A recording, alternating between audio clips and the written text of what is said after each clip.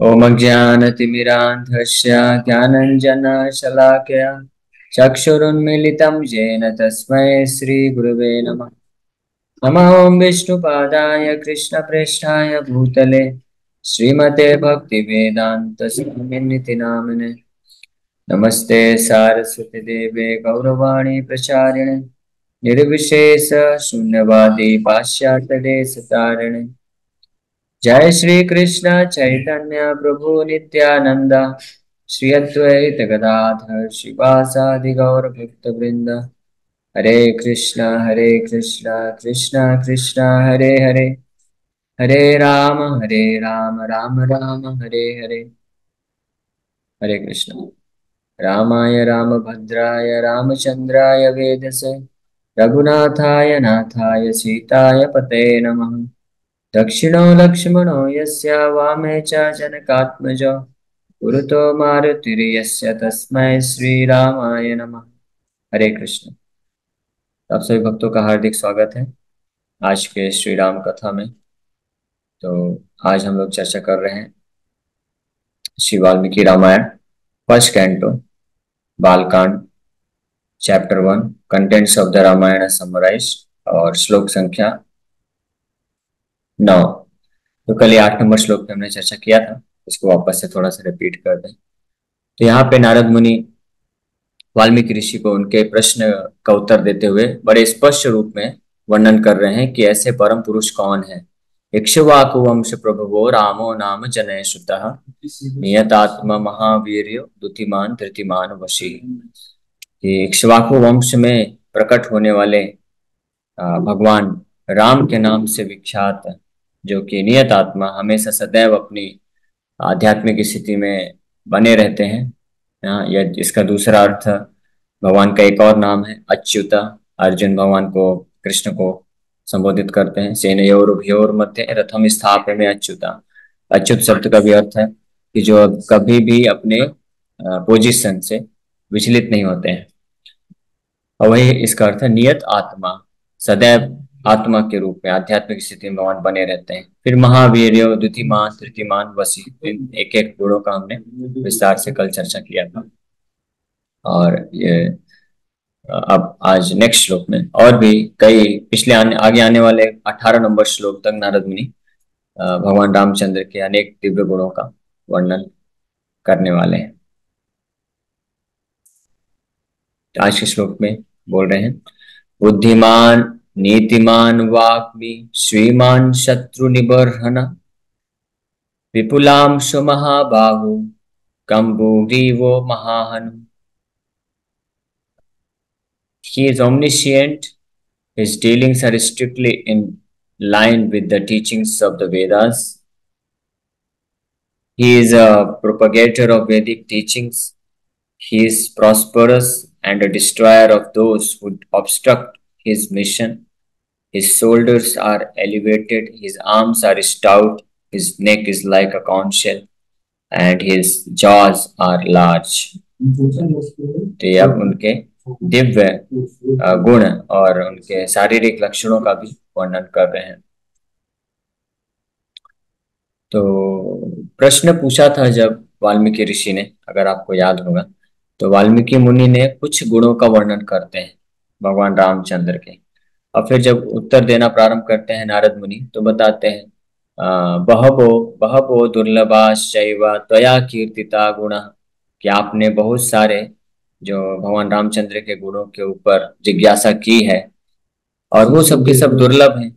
लेकिन उसके अलावा भी चा बोलते हैं बहबो दुर्लभाश चा चा मतलब हम बक्ष्यामी मुने, मैं वर्णन करूँगा, चा मतलब ऐसे और भी दिव्य गुणों को जो कि आप मेंशन नहीं कर पाए या जिन जो आप जो अन्य और भी दिव्य गुण हैं।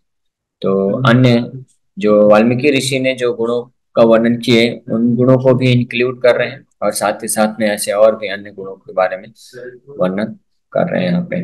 तो बुद्धिमान नीतिमान वाग्मी। बुद्धिमान मतलब ही इज़ ओमनिशियंट ओमनिशियंट का मतलब होता है जो सब कुछ जानते हैं। उनको ओमनिशियंट बोलते हैं।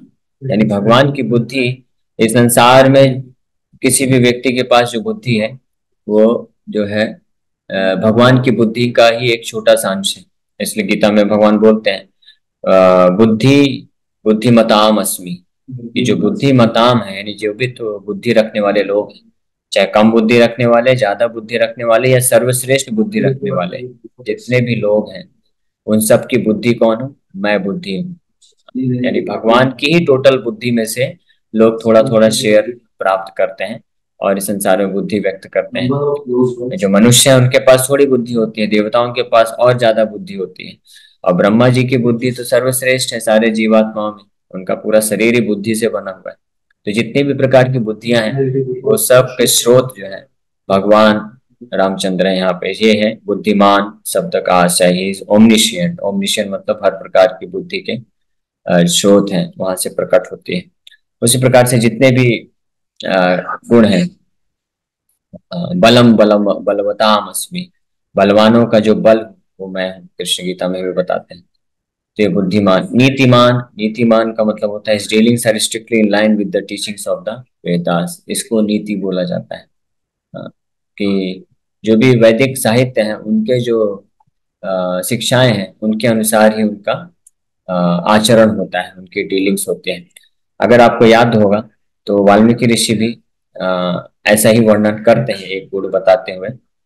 चारित्र चारित्र ऐसा वो वर्णन, प्रश्न में पूछते हैं कि किसका ऐसे महापुरुष के बारे में बताइए, जो सबसे ज़्यादा चरित्रवान है। और वहाँ पे भी हमने चर्चा किया था कि चरित्र का मतलब भी होता है कि जिनके हर प्रकार के आचरण या व्यवहार वैदिक शास्त्रों के अनुरूप होता है अनुसार होता है उसको वास्तविक चरित्रवान व्यक्ति बोला जाता है। और वही भी नीतिमान भी वही कहलाता है तो सेम शब्द है। विवाग्मी वाग्मी मतलब जो कि वैदिक शिक्षाओं का प्रचार करते हैं या प्रकट करते हैं। वाग मतलब होता है शब्द शब्द ब्रह्म है वांग्मय रूप भी जैसे श्रीमद भागवत को भगवान कृष्ण का वांग्मय रूप बोला जाता है। क्योंकि शब्द ध्वनि शब्द ब्रह्म के रूप में भगवान प्रकट होते हैं। तो वाग्मी का मतलब होता है, जो वैदिक शब्द ब्रह्म को प्रकट करते हैं, उसको प्रचार करते हैं। भगवान के द्वारा ही वो प्रकट होता है। वेदेश सर्वेर अहम एव वेद्यो वेदांत कृत वेदविद एव चाहम। वेदांत कृत वेदांतों का रचयिता भी मैं और वेदांत कृत वेदविद, उन वेदों को जानने वाला भी मैं और उन वेदों को जानने के बाद जो गोल है, लक्ष्य है, वो भी मैं इस प्रकार से वाघ भी श्रीमान श्रीमान मतलब ही इज़ प्रॉस्परस श्री मतलब लक्ष्मी माता। लक्ष्मी ऐश्वर्य की देवी, उनका एक नाम श्री। तो जो श्री मान, श्रीमान मतलब जिनके चरणों में हमेशा जो ऐश्वर्य की देवी, लक्ष्मी हमेशा विराजमान रहती है, इसलिए भगवान हमेशा ऐश्वर्यवान रहते हैं। शत्रु निबरहना शत्रु निबरहना का मतलब होता है कि जो भी उनके जो मिशन है जो उनका कार्य है, उसमें जो बाधा उत्पन्न करते हैं, वो लोग शत्रु कहलाते हैं, उनका निर, निबरहना निबरहना मतलब उसको नष्ट करने में पूर्ण रूप से सक्षम है भगवान। और ऐसे ही गुण का वर्णन, वाल्मीकि ऋषि भी इस गुण को अलग शब्दों में, प्रश्न के रूप में पूछते हैं। तो यहाँ पे ये जो दो गुण आए हैं, नीतिमान और शत्रु निबरहना। वाल्मीकि ऋषि भी इसका प्रश्न पूछते हैं, वीरवान करके बोलते हैं, उनके सबसे बलशाली है। फिर अगला है विपुल अंश ये शोल्डर्स आर एलिवेटेड उनके जो कंधे हैं वो बहुत ही चौड़े हैं ऊँचे विपुल अंश महाबाहु हिजाम सर स्टाउट यानी उनके जो भुजाएँ हैं बहुत बलशाली है। महाबाहु। गीता में भगवान भी अर्जुन को महाबाहु करके संबोधित करते हैं। यानी जो हर प्रकार के शत्रुओं का दमन शक, दमन करने का शक्ति रखते हैं इसलिए महाबाहु।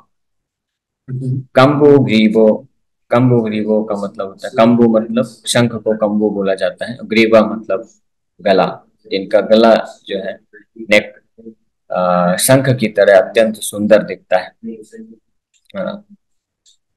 तो महाहनु हिज जॉज आर लार्ज हनु जो उनका मुख मंड मुख के नीचे जो है, वो जॉ उसको बोलते हैं वो महान वो काफ़ी बड़े हैं। यानी दिखने में अत्यंत सुंदर है।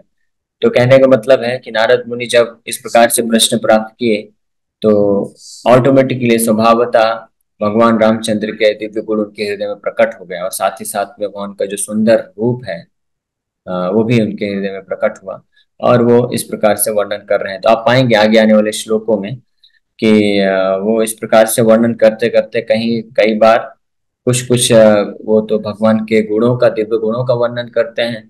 कभी उनके कुछ ऐसे कार्यकलापों का, अद्भुत कार्यकलापों का वर्णन करते हैं। कभी उनके सौंदर्य का वर्णन करते हैं। तो इस प्रकार से जब शुद्ध भक्त, इस प्रकार से जब भगवान का गुणगान करने के लिए प्रेरित होता है तो उनके हृदय में जब भगवान प्रकट होते हैं तो वो अलग अलग तरीके से भगवान के सौंदर्य का, रूप का, उनके गुणों का, उनके कार्यकलापों का मिक्स तरीके से वर्णन करते हैं यहाँ पे हम देख सकते हैं कि कुछ तो भगवान के गुणों का वर्णन है और फिर अचानक से उनके शारीरिक जो लक्षण है, सुंदरता है, उसका वर्णन यहाँ पे कर रहे हैं Sri Narada then describes the qualities of the Supreme Lord useful for his activity of creation. Buddhiman means. The Shruti declares, यह सर्वज्ञ, सर्वविद। ये मुंडक उपनिषद, पहले स्कंद का, पहले अध्याय का नौवा श्लोक है, जिसमें साफ़ साफ़ बताया गया है कि जो परम ब्रह्म है, वो क्या है? यह सर्वज्ञ। सर्वज्ञ मतलब जो सब कुछ जानते हैं, सर्वविद। हाँ। सब the omniscient knows the nature of everything सर्वज्ञ जो पूर्ण रूप से ज्ञानी है और सर्वविद जो सब कुछ जानते हैं सबके बारे में जिनको पता रहता है। तो ये साफ़ साफ़ मुंडक उपनिषद में भी परम ब्रह्म का जब ये स्वभाव बताया जा रहा है तो इससे पता चलता है कि भगवान के दिव्य गुण है उनके व्यक्तित्व के पर्सनैलिटी के बारे में वर्णन हो रहा है। नीतिमान indicates that his dealings are within the boundaries of Vedic civilized behavior. The Shruti texts that refer to this feature of the Supreme Lord are Dhata yatha purvam akalpayata. The Creator fashions the sun, moon, and others as he had done before. ये ऋग्वेद में ये मंत्र आता है जहाँ पे भगवान के इस दिव्य गुण का वर्णन है धाता यथा पूर्वम अकल्पयता जिस प्रकार से भगवान ने पहले यानी बार बार भूतवा भूतवा प्रलीय थे बार बार जब सृष्टि करते हैं। जिस प्रकार से सूर्य चंद्र और अदर और अन्य जितने भी ग्रह हैं उनका रचना करते हैं। उसी प्रकार से भगवान इस सृष्टि में भी उन्होंने सूर्य चंद्र और ग्रहों का रचना किया है। एष सेतुर्वितरण येषां लोकानाम असंभेदया। He is the bridge, the controller of these worlds to prevent them from breaking up. छांदोक Upanishad में भी ऐसा वर्णन प्राप्त होता है। कि भगवान ब्रिज जो है, वैदिक साहित्यों के माध्यम से, वैदिक शास्त्र हैं, जो कि ज्ञान प्रदान करते हैं जिसके माध्यम से समाज सुचारू रूप से चल सके। और भगवान स्वयं अपने व्यवहार के द्वारा उसकी वैदिक साहित्यों की शिक्षाओं को प्रकट करते हुए वो बाउंड्री बनते हैं या ब्रिज बनते हैं जिसपे लोग चल सके। जिस प्रकार से जब ब्रिज बनाया जाता है तो ब्रिज को बनाने के लिए क्या क्या रिसोर्सेस लगेंगे, समा, सामग्री लगेगा, कैसा इंजीनियरिंग होगा, कैसा ज्ञान होगा, वो एक नॉलेज होता है, उसको स्क्रिप्चर बोल सकते हैं। लेकिन जब ब्रिज बन के तैयार होता है, जिसके ऊपर लोग चल के वास्तव में उसका लाभ उठा सकते हैं, वो भगवान के क्रियाकलाप होते हैं। भगवान के जो व्यवहार होते हैं, इसलिए भगवान को नीतिमान बोला गया है। नीतिमान शब्द सूचित करता है। कि भगवान, ये जो वैदिक साहित्यों में दिए गए प्रिंसिपल्स हैं, सिद्धांत हैं, उसको वास्तविक अपने जीवन में, व्यवहार में प्रैक्टिकल व्यवहारिक रूप से प्रकट करके वो एक बाउंड्री क्रिएट करते हैं ब्रिज क्रिएट करते हैं, जिसके माध्यम जिसका सहारा लेके हर जीव जो है, अपने आप को इस आध्यात्मिक मार्ग में प्रगति कर सकता है। तो इस बात का वर्णन छांदोक उपनिषद में दिया गया है। फिर वाग्मी शब्द का अर्थ बता रहे हैं a pleasing talker is called वाग्मी in this context it means one who propagates all the Vedas the shruti evidence for this is the text यो ब्राह्मणा ब्राह्मणम विदधाति पूर्व यो वै वेदांश प्रहिणोत तस्मय I surrender unto the Supreme Lord who had formerly granted Brahma the Vedas and enlightened him. ये श्वेताश्वतर उपनिषद के छठे अध्याय का अठारवा श्लोक है, जिसमें क्लियर ये वर्णन है कि मैं उन परम भगवान को समर्पण करता हूँ, जिन्होंने सब सर्वप्रथम सृष्टि के रचना के शुरुआत में ब्रह्मा जी को समस्त वैदिक ज्ञान दे करके उनको एनलाइटनमेंट प्राप्त किया, उनको प्रदान किया, यानी ज्ञान प्रदान किया। इसलिए भगवान को वाग्मी बोला जाता है। वाग्मी शब्द का अर्थ है जिनके वचन, जिनके शब्द, यानी जिनका बोलना बहुत ही प्लीजिंग होता है। यानी जो हृदय को संतुष्ट करता है या सुनने में मधुर लगता है और जीवन में जिसके कारण मधुरता आती है, उसको वाग्मी बोला जाता है। और वाग्मी शब्द का दूसरा अर्थ इसलिए बताया गया है कि भगवान से जो वैदिक साहित्य, जो वैदिक ज्ञान प्रकट होते हैं उनको सुन करके, समझ करके हर किसी के जीवन में जो है अज्ञानता रूपी अंधकार नष्ट होता है। और फिर उसके मदद से व्यक्ति जो है, असली जीवन का जो आनंद है या असली जो अमृत है, वो प्राप्त कर पाता है। इसीलिए वाग्मी कहा गया है। नेक्स्ट दूसरा क्वालिटी है श्रीमान. या prosperous indicates that he possesses the prosperous opulences of material and spiritual existence because Shri in this context means prosperity the shruti evidence in this connection is सर्वमिदम अभ्यात the supreme Brahman pervades over all of this existence Chandogya Upanishad Chandogya Upanishad के तीसरे स्कंद के चौदहवें अध्याय का दूसरा श्लोक है सर्वमिदम अभ्यात, कि जो परम ब्रह्म है, वो पूरे अस्तित्व में व्याप्त रहते हैं। तो ये श्रीमान, उनका ये जो दिव्य गुण है, कि श्रीमान प्रॉस्परस ऐश्वर्यवान श्रीमान मतलब ऐश्वर्यवान। उनका ऐश्वर्य इतना है कि जो समस्त संसार में सारे ब्रह्मांड में, चाहे वो भौतिक जगत हो या आध्यात्मिक जगत हो, भगवान का ऐश्वर्य जो हमेशा प्रकाशित रहता है, इसलिए उनका ये दिव्य गुण है।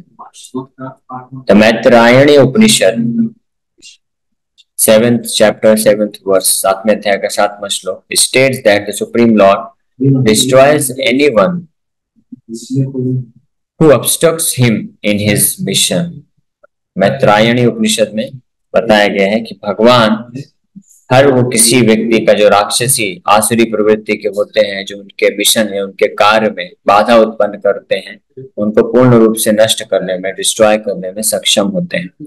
और यही उनका जो गुण है, इसको यहाँ पे शत्रु निबरहणा के रूप में नारद मुनि संबोधित करते हैं कि भगवान, कौन है शत्रु निबरहणा? शत्रु मतलब जो शत्रु होते हैं दुश्मन होते हैं जो भगवान के जो मिशन है, उसमें बाधक बनते हैं निबरहना मतलब उनको पूर्ण रूप से नष्ट करके रखने का शक्ति रखते हैं।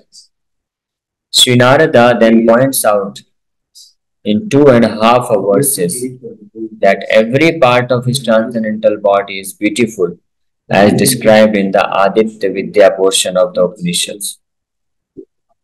यहाँ से पहले इस श्लोक के पहले लाइन में, बुद्धिमान, नीतिमान, वाग्मी, श्रीमान शत्रु निबरहण इसमें पाँच दिव्य गुणों का वर्णन कर रहे हैं भगवान के। और इसके पश्चात ये जो इसका नेक्स्ट लाइन आधा लाइन विपुलाम सुमहाबाहु वो महाहन और आगे आने वाले दो श्लोक यानी ढाई श्लोकों में भगवान के सुंदर रूप का वर्णन कर रहे हैं। कि किस प्रकार से उनके जो कंधे हैं बहुत ही एलिवेटेड हैं, चौड़े हैं और उनका बाहु, महाबाहु है। गला जो है शंख की तरह है तो इस प्रकार से वर्णन कर रहे हैं। तो हमारे आचार्यों के द्वारा प्राप्त ये जो प्रमाणिक स्रोत है, जहाँ पे भगवान के दिव्य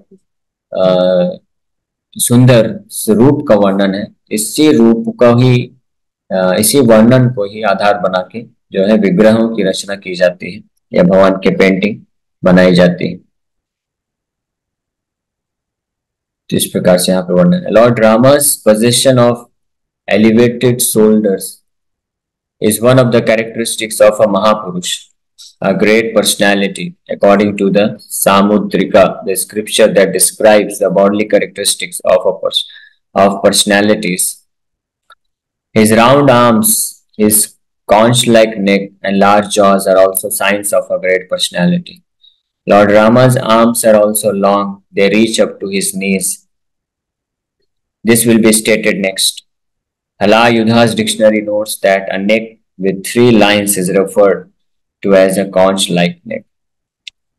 इस प्रकार से भगवान राम के दिव्य रूप का यानी उनके शारीरिक लक्षणों का वर्णन करके भी यहाँ पे नारद मुनि कंफर्म कर रहे हैं कि एक महापुरुष जो होते हैं उनके शरीर में बत्तीस सुस्पष्ट और सुंदर लक्षण प्राप्त होते हैं, जो कि पूर्णता, पूर्ण रूप में केवल और केवल परम भगवान में ही पाए जाते हैं। इनके आंशिक रूप में जो और भी अन्य उनके शुद्ध भक्त होते हैं ग्रेट पर्सनैलिटी उनके पास भी ये प्राप्त होते हैं। तो उनमें से कुछ जो लक्षण है कि यहाँ पे वर्णन नारद मुनि कर रहे हैं इस श्लोक में, विपुलांशु चौड़े कंधे महाबाहु स्ट्रॉन्ग आर्म्स कम्बुग्रीवो शंख की तरह उनका गला होता है।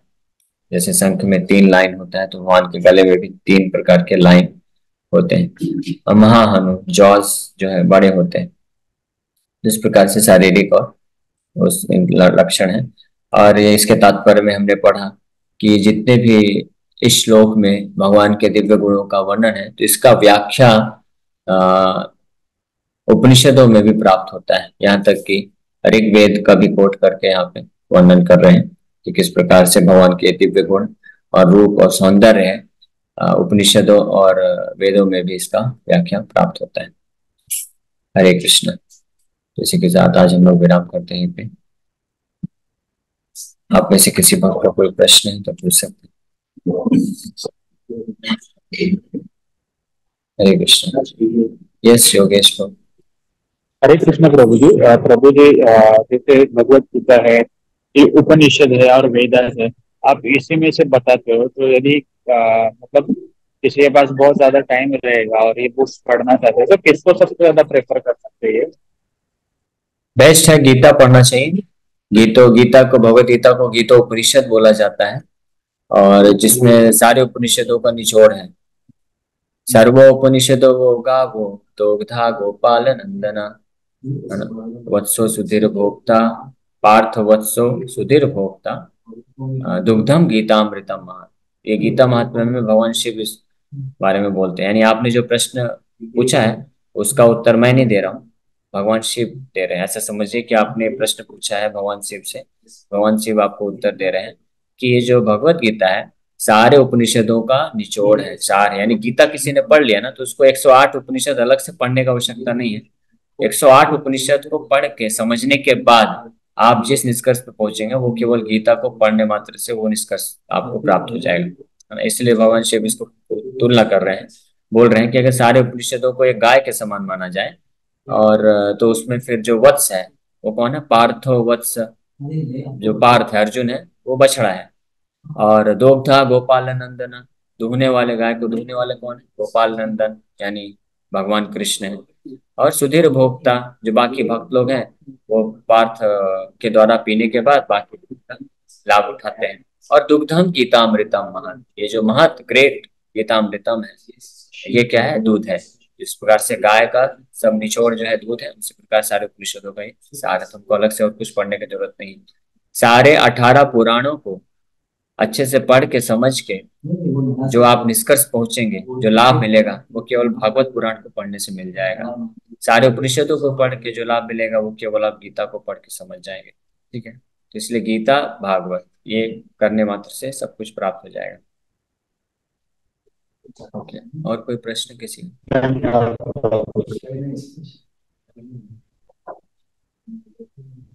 हरे कृष्ण।